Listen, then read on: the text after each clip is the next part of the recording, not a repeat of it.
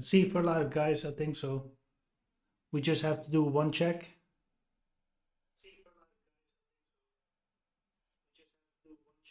Oh, perfect. So we're live in a new location. The first time I uh, make a video here, I moved to another house and um, this is my office. I still have an attic where I have to have to where I can set up uh, a GoPro uh, and I can make more live streams. Now I have two screens so I can look at some information here and I can look at what I'm streaming to the audience here. Um, I'm, I don't think I will uh, miss one live stream in the future. I will not. I think live streaming is an essential part of this channel, especially uh, when I look at the viewers. Most of them come from the United States. Also, a lot of uh, a lot of them come from Germany. Let me put it like this: the Dutch car market is not really representative for Europe, uh, especially the type of cars that I review. They are overpriced uh, sometimes uh, because we pay a lot of tax on cars. I said this before, but I will repeat. Um, we pay a lot of tax for cars, uh, especially cars that are fun. With V6s and V8s, it's it's not really allowed when it comes to our Dutch government. That's the only thing I can say. Um, and today we're going to look at a very special car, the Audi RS6. And I just want to uh, show you some prices. So the Audi RS6 hit the market in May of 2002. Uh, it was the car, the C5, that was the first generation actually. Uh, we had uh, one A6 before that, which started as the Audi 100 out of the top of my head in, in 97. I still remember the showroom when I visited my dad, and it was already 100,000 guilders. Uh, that was before the euro. Oh, we're gonna have some alarm right now because it's the first of the month and it's 12 o'clock. So if you hear some background noise, nice timing. um, anyway, so that was the Audi 100 and it was introduced in 97 and during uh, the production run of the Audi 100 it became the first Audi A6 uh, because Audi rearranged their whole um, uh, types and stuff. Uh, but we are going to focus now on the Audi RS6 and it started in the C5 which was the first real genuine Audi uh, A6 so let's just show you uh, what Audi has and we're just gonna pick the A6 no we cannot pick the RS6 so we have to pick the A6 and then we're gonna not giving anything and we need to give more filters and that's RS6 so Racing Sport 6 this is the most potent Audi out there and this is what they can all find here in the Netherlands. So I'm very curious what I can show you. Um, 2006 so this is not the first generation, it's the second generation. This is the first generation. This is the uh, C5 I'm, I'm talking about. Um, show you this. And I'm very curious about the uh, audio quality and the streaming quality. I upgraded my, my network and uh, uh, now I'm streaming here from this uh, location, but uh, hopefully in the future I can make it a little bit more fancy I'm looking forward to make more content in the future, really. So uh, please leave comments under this video or leave comments in another video, like what kind of cars you want me to stream. I can I can do this for for years. You know, I, I love it. Anyway, uh, so this is the first generation uh, Audi RS6, and it had the famous 4.2 V8, uh, a 40 valve, so five valves a cylinder, right? Let's see. Let's open this. I think from my personal opinion, this is the most beautiful uh, RS6 out there. There's no other way to describe it. It's just, this is that, that early 2000s, late 90s elegance that German cars had. Think about it, at the same moment that the E39 BMW was out and the W2 11 was out, uh, Mercedes E-Class, they still, of course, they dated, but there was just a certain uh, moment in time that I think captures the essence of German engineering that I really appreciate. Not even saying that these cars are very good, but it, it was just an era that I really appreciate. It's like it's simple, but it still has, yeah. Wh- whoever designed those cars in the days, they, they, they knew it right, and and it, they stood the test of time. Because this car, this is a 2002, this is a 2000, so 23 years old. I wouldn't mind having this in the driveway. I wouldn't. This with all VAG products, it, it, it looks okay, but you can also find it in a normal A6. Like they don't they don't bother with things that don't really matter that much. But the 4.2 was a beast, very thirsty.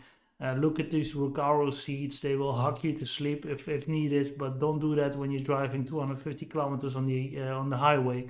But they can do it. And it's all a little bit sober. It's like late 90s early 2000s it's just before everything got more digitalized the internet was just coming up.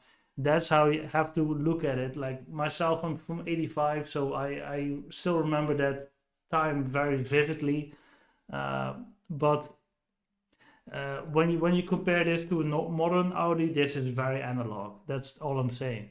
And also they had those uh, i will check later what kind of gearbox they had but the, the gearboxes from audi in those days were, were not very good. But it was it was a super sports uh, combination like a station wagon or combi and um, oh okay it was imported 230 horsepower. Oh here they say it's a six cylinder i don't know what's happening but i was thinking 230 from a from a 4.2 v8 what's going on? Mm. okay so this is the 2.6 2.7 6 in line. Did we get a shot at the engine? I don't i don't think so okay this is a bit of a shady car. I don't know. This this is weird. Also uh, immediately give away. They don't have a license plate so you cannot really check what's going on. You cannot see you cannot do your own research because especially here in the netherlands we have a license plate. There's a lot of history uh, you know connected to that plate. Did it have a services on time? Was it imported? Uh, is the um, the kilometers that it's driven is it logical or it's not logical? Because you have a lot of people well, you have some people that drive let's say 100000 kilometers with a car and they deduct 50k each year in between checks. So then it looks like the car only driven 50 50 50 very steady each year but they, they did double. With certain cars you can do that. I'm not sure if the rs6 uh, uh, complies for that but uh, it's it's done. So moving on that this is they said it's the FSI. I saw this one, the 2.7 bi turbo, but it was also delivered with the V8. But let me just move on then. Diesel. I'm not looking for diesel. I'm looking for a proper RS6. Okay, this is the S6 with the 4.2. A young timer with just a little bit more over 100,000 kilometers. Um, is it nice? Yeah, it really really depends. I think I think it's nice. I think it's timeless. Timeless elegance. Yeah, this, this is but this is the S6. So this is not the full Monty, this is not the RS, but the S. So this is the sportive version of the uh, A6. Looks nice. Let me check what year it is. Early 2000s. Here, this one has the. Uh, this was the engine I was talking about, the V8 to 4.2. All right.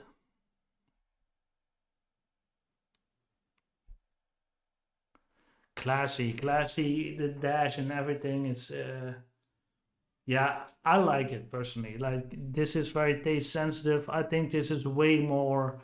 Um, quality based than what we have nowadays. Now we have screens and everything. Like, I don't care about that. There's too much going on in cars. It should be focused on a good engine that's reliable, that's powerful, that has a nice torque band, a nice, good, comfortable steering wheel, uh, responsible uh, brake pedals and gas pedals, uh, a good and very accurate um, automatic. And for the rest, I don't care how much features it has um, uh, when it comes to multimedia. What I'm driving and I'm, I'm one with the machine, I don't care if, if I have a good MP3 quality or good SatNav uh, reception or all that stuff. We can all fix that by buying separate devices if needed to. But that's me, that's my personal opinion. But uh, when I look at this dash, this is so late 90s, early 2000s, and I like it. I like that era. In 2000 myself, I was uh, 15 and uh, that's actually where my fascination from cars came from from the late 90s and maybe that has something to do with it. Every generation is different but th- this is my generation and i love it. It's so subtle like it's only two uh, quad uh, exhaust pipes.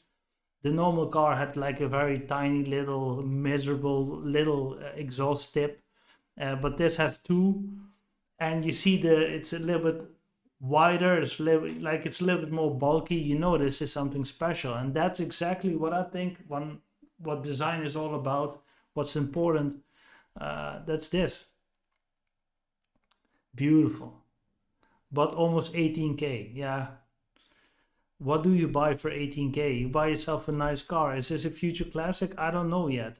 But it's definitely a special car and it looks good paint job still looks good the rims look good it all looks but it's probably had a, a, a professional detail going on. January 2004, so this was kind of a run-out model of the uh, first generation, the first generation RS S6, and this was the C5 for all the people that like this. This is the Audi A6 C5. Um, all right, we're gonna move on, see what else we got. 2000. 2011, how can it be 20k? Oh, this is the 3 the TFSI RS. This is the RS line or something. Yeah, the RS Quattro Pro line. Another thing, what I don't like about Audi, they, they got so mixed up in this AMG line and this M line, and now we have this RS line. Like, it looks like you got something. Okay, a 3 liter TFSI, it will do the trick. But it's not an RS product. It's not even an S product. Stop with that. This is where marketing goes too far, you know, but that's that's my opinion. Um see 2004 200,000 kilometers driven, still 25k. And this is 2004, so this was also a late model of that first generation. Yeah, 200,000 kilometers driven, guys, and those those kilometers are probably hard. You know, they're, they're driven hard. Please. Ah, all right, here we are. Look at that grill. Look at it. I will not uh, take too much time over this generation, but this is for me, this is a generation. And even though they didn't refine this car yet, because it was the first time they put a big V8 in a car like this, just to compete uh, with the likes of BMW, and Mercedes, of course, and we had a few fast Jaguars with also V8s, of course, because and then rear wheel driven. Uh, but this also offered the Quattro uh, pack. So when you go into the mountains and it's snowing or it's raining or whatever the weather conditions is, this car can go way further than any Mercedes or BMW that only had rear wheel drive. So that was a real appeal. Would would be would be uh, a good unique selling point for me to go for an Audi instead of a Mercedes Benz. But it really depends on where you're going to use this for. If you also wanted to um, have a, a, trailer hitch behind the car and, and tow stuff, four wheel drive is always going to come in handy. And back then, uh, the, all the uh, German luxury manufacturers they only had rear wheel drive. So this was a unique selling point back in the day. And quattro they stick to it. And now we have 4MATIC and we have X-Drive and all those kind of things. But audi was the original uh, the og the original gangster. The, you know it's no way around it.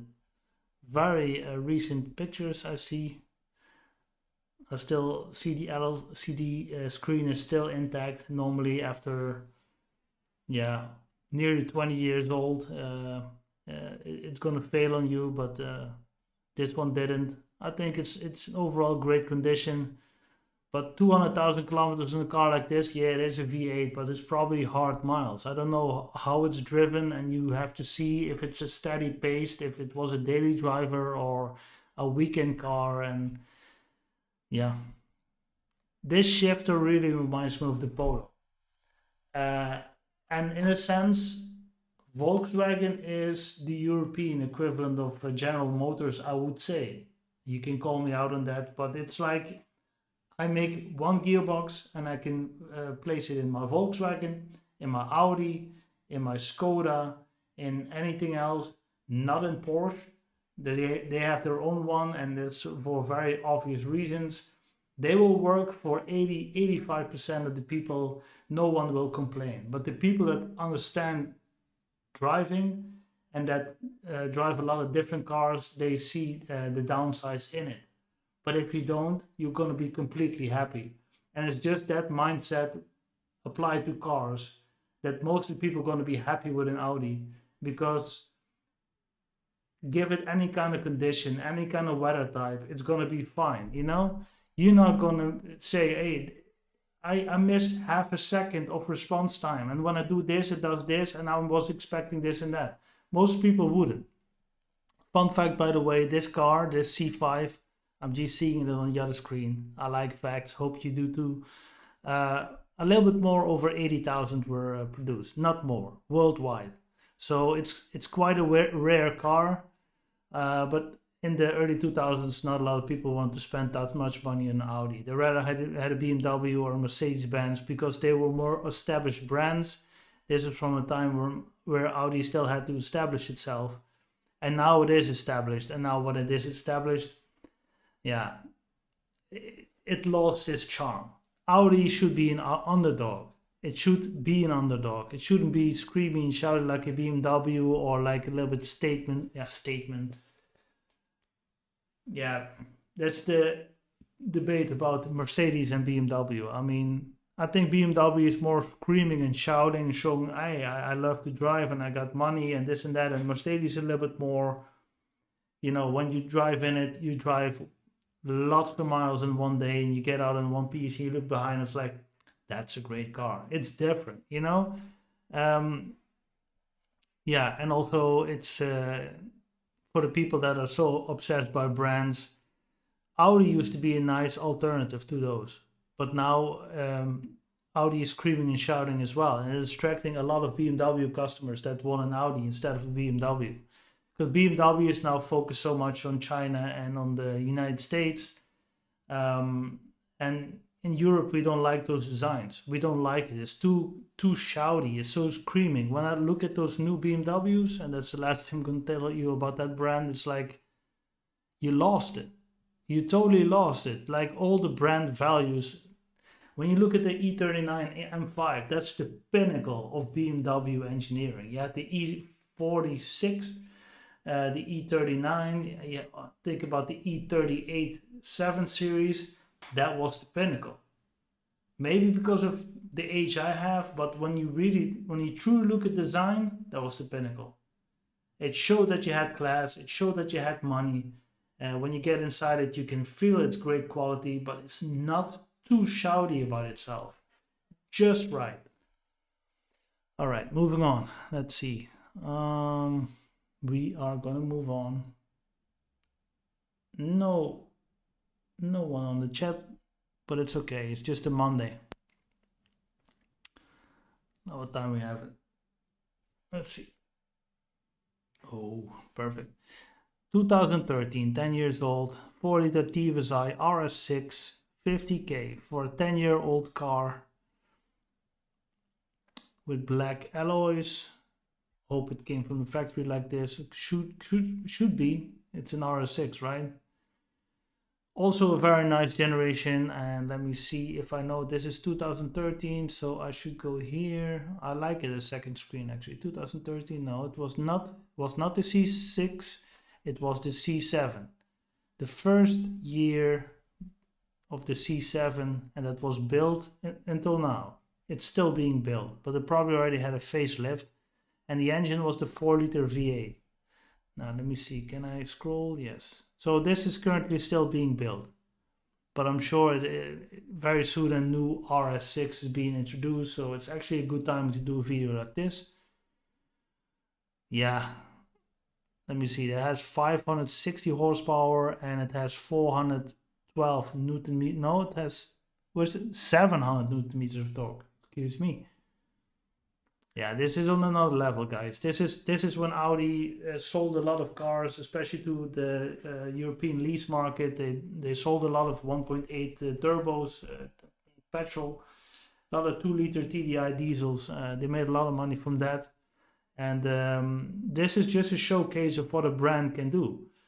Uh, nothing more than that you know the the best seats the best materials from that time period corrected. This car is 10 years old 10 years ago, this was the pinnacle of Audi.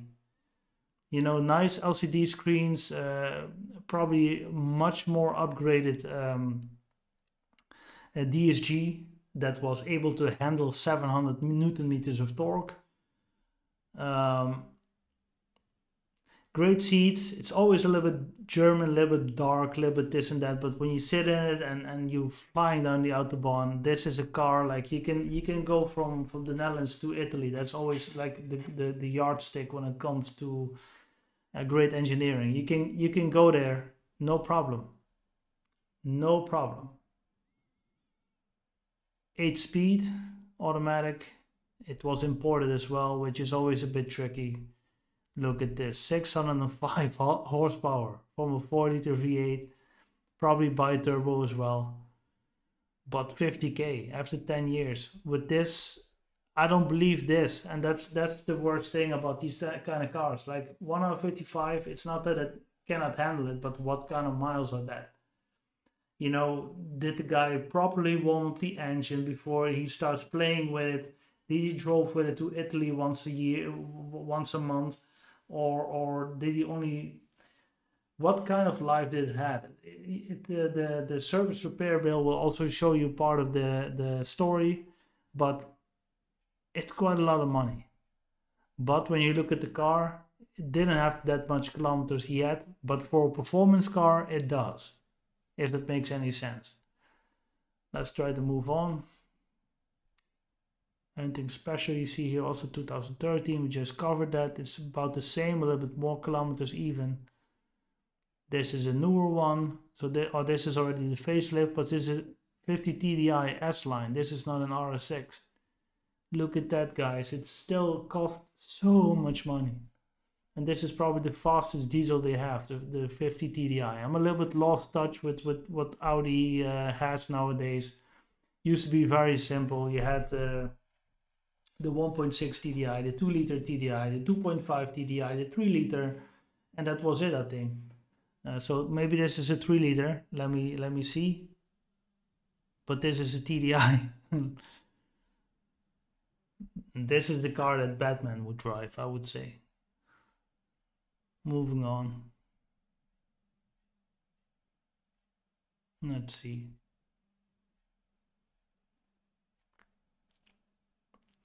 This is so up to date 2019 it's uh yeah four years old now. But this is what uh, they still push nowadays what rolls out of the factory this generation. See it's all upgraded a bit. Mm, maybe it has nine speeds now i don't know. Let, let me uh, go into the configuration later. 3d camera system to give you an idea of the position of the car in any tight spot. Let's see camera apps. Give me some details. Let's go back. This is only pictures that's fine. Then we go back up here and we're gonna do this. Yeah. Ah need to click here. Fantastic. Give me some specs specifications so diesel yes five door 1865 kilograms six cylinder three liter with 286 horsepower that's nice Uh, anything else? No turbo, non-turbo. How many newton meters? Didn't say.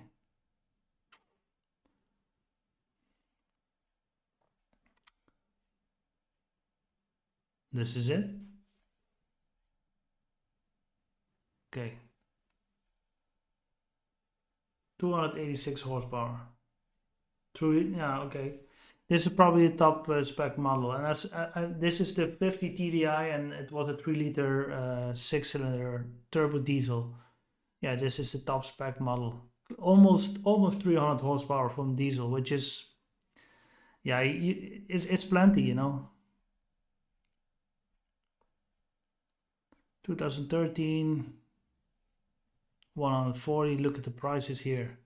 I don't know if you guys watching from germany or somewhere else but uh, don't you think we overpay here for cars like this? I mean these are like this is the top automobile. This is the the the, the highest in the food chain when it comes to uh, motoring but quite expensive i would say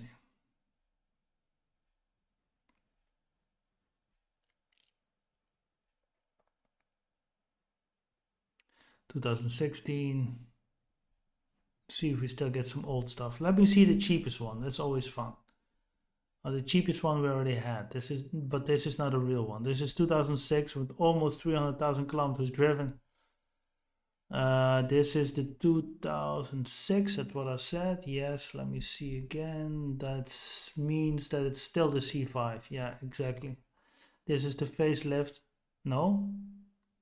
2006. I'm wrong. This is the C6.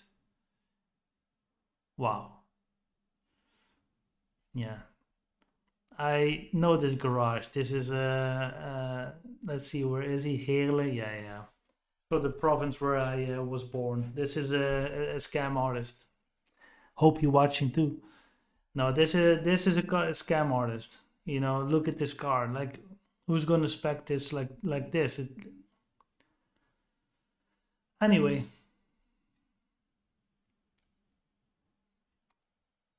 This is a petrol, a 3.2,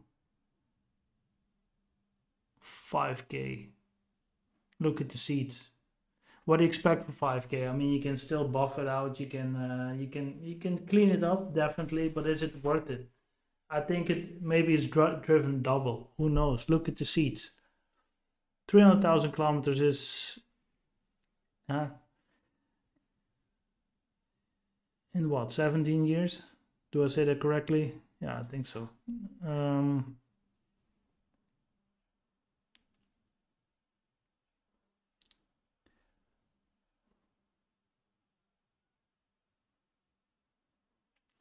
yeah you shouldn't buy a car like this for 5k let me put it like that. You shouldn't. And when the car is running and you see there's no petrol out there i know that they always do that when they store cars and stuff but uh, it, it it looks wrong. Look at this. It's 2006. Back then it was great, but uh, yeah. This is aftermarket. Yeah, what do you expect for 5k? I mean, you you you buy no Audi for that. And these kind of cars, but this is the 3.2. I'm I'm interested in the specs. Let me let me go back. But this is a scam artist. I mean. Uh, the 3.2 FSI. Maybe maybe it's the same kind of engine that went in the Audi uh, R32, the Golf, the Golf. And also the Audi A3 had the 3.2, which was a top spec model. So it does have a lot of configurations in there. And uh, let's see. Mm -hmm. So it is an original Dutch car, which is great because then from the moment it was uh, the first license plate was put on it, like uh, the, the, registration of miles and the, the history is uh, recorded well. That's always a plus. 80 liter fuel tank, six cylinders at 3.1, pushing out 256 horsepower. Great. So it is potent. And it had the 3.2 six cylinder. Voor and achter means uh, in the front and in the back. So it is a quattro also. This turret is gonna drink heavily. and it already done a lot of miles. It looks nice. I mean, you could put it on the porch for 5k. I mean, but uh, yeah, it throws me off a bit. But you shouldn't buy a car like this for 5k. I mean, you should double up or triple up. 15k is the minimum. Look at this. You're also not going to buy something like this. It looks great, but they already removed the plates. What we talked about earlier. I mean, that that's just shady, you know. But that's how I look at cars, and uh, whenever I'm thinking, I'm just translating to you guys, so you have an understanding how I think and how I feel, and maybe it can help you in your search for a car like this. Let me just pick out one more and then the, we we call it quits. Then we can ha- had a nice test on the my new infrastructure to do a live stream, and uh, I actually just like I just moved into a new place, and uh, I still have a GoPro waiting for me upstairs. Maybe I'm gonna do some different kind of live streams in the future, but you can expect at least once a month, all year round. Uh, that's what I promise. I love to make it, and now I have a bit more time. So uh, yeah, one more. Let's see. We already saw this one, so I'm going to open this one. 2004 is also the last year that they built this one. Let's see what they want from it. Okay, this is the okay the 4.2, 22,000 and a half, more than 200,000 kilometers driven. Let's see. Mm -hmm. I do love the grill. I do love the grill. I do love the rims. It's it's nice, but is this a good car? I don't know. The 4.2 V8 is quite reliable. It's been around for many times. I think this is an adjusted version of what they already put in the Audi V8. Um, and I think the Audi V8 is from the 80s, the late 80s, when Audi tried to compete with the likes of Mercedes and BMW but the Audi always stick to, with the 4.2. Uh, I think it's a, it's a naturally aspirated, aspirated engine and they are very powerful, uh, but they're very uh, racy also. You need to rev them quite high and they're very thirsty when you do so. They give you a nice sound. Um, yeah, what what can I say? Audis are are like items. They're just like an iPhone, right? I mean, almost everyone can use them and and get the hang of it real quick. And the same with an Audi. It's not like a BMW that you have to learn what's the limit and this and that. I mean, Audi, this is a Quattro. They always put Quattro on their top spec models so they can uh, put the power to the road more evenly divided between the front and the rear wheels, which make the car more safe as well I mean, if you have five, six hundred horsepower on the rear wheels only, and the weather is not good, you're gonna spin out. You know, um, even very experienced drivers will sometimes just say, "Ooh, that was not what I what I meant to do." You know, you only have like what, like this much rubber on each side with so much power. It's gonna go wrong. You know, it's gonna you're gonna end up in a ditch one time, but not with an Audi.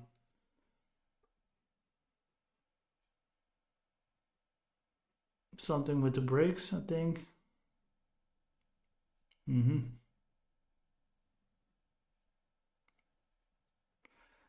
Yeah, what can I say? It looks okay, but it's used. Done quite a lot of kilometers actually, especially for a performance car. And yeah, it's a V8. But you can also think I'm, I'm buying this for 22 and a half. I'm gonna put another 10k down. 450 horsepower.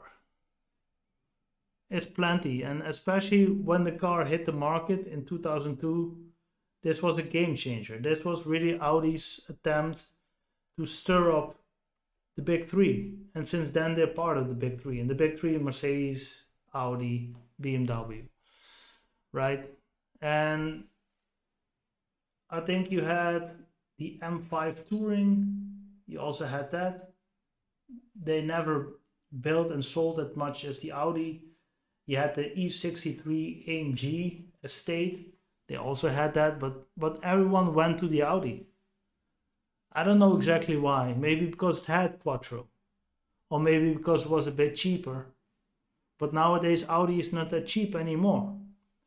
What's the attraction of this? I think it's the attraction is when you look at it from the side, you think, oh, it's a nice car but you don't think nothing special of it. I mean, this could be an S line or something. What Audi does all the time nowadays. They have an S line, still what a 1.4 four cylinder, you know.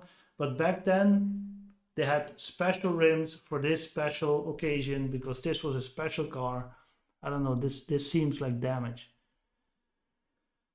Um, but even this key, I remember this having the same key with a Volkswagen logo on it. That's typical GM, Volkswagen, Audi group. Like they only spend money where it matters, and I like that because where it matters is the engine, it's the sound and insulation, it's the the quattro four wheel uh, system. It is what matters. Nobody can look at the key. You put it in your pocket, you put it somewhere else. You think I think you think I'll look twice at my Volvo key? I mean, I don't, and it's fine. It works. It's very robust. Um, the logo you can't scratch off because it's already gone. It's it's well thought out, and and you spend money where money need to be spent. Anyway, let's see. Yeah, NL car, so it's original uh, Dutch car and for a lot of people, including me, that's just an uh, added added thing because when these cars get imported from Germany, because German people buy these cars because they they need to conquer the autobahn every day. When you got a good job and uh, you're working maybe 100 150 kilometers from where you live, and you need to blast down the highway every day, you want a good car. And when you when you got deep pockets and you can pay for all the fuel, what does it matter? Especially, especially the mindset back then. I mean, we're talking 20 years ago. Nowadays, people don't do that no more. Uh, but I understand.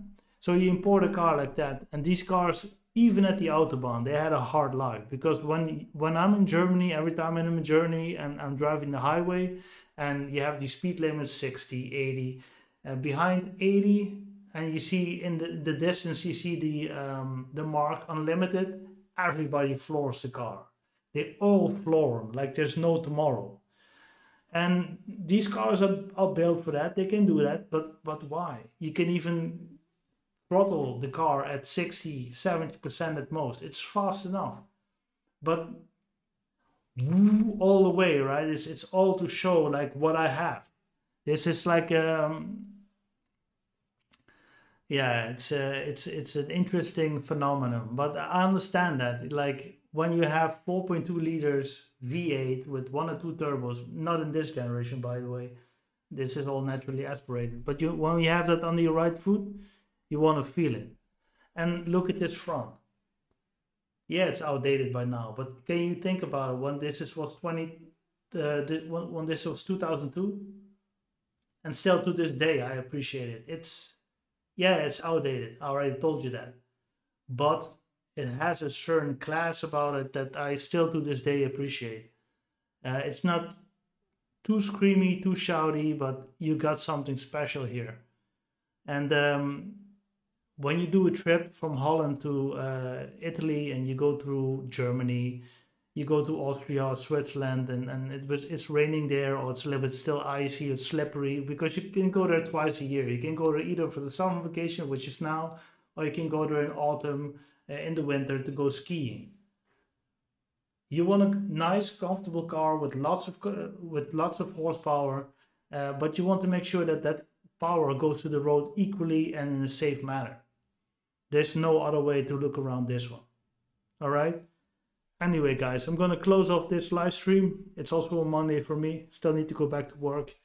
I just wanted to uh, show you guys that I'm back online and that you can expect more live streams coming from now on. And uh, I still need to settle down here. I'm in this new location for about a week. Um, it's been a tough while, you know. It's been it's been uh, quite. Uh, how do I say this? Still got a lot of things to do actually, but uh, I just thought I have half an hour and then I just make a live stream. I hope you appreciate that. And uh, as always, uh, please let me know what kind of cars you want me to review. I love doing this. I mean, for me, it's unscripted. It's just out of the top of my head. So I love these doing these. And uh, for the few people that really appreciate them, uh, I, li I like it. I keep on doing the, those buying reviews because uh, that's what I got big with, and that's also like what I like to do: do some research, some proper research. But this, these live streams, for me, it's like a breath of fresh air. So thanks for watching this uh, live stream, and uh, we hope you guys are all good. Hope you have a great summer, and uh, catch you one, catch you all in the ne next one. Thanks for watching.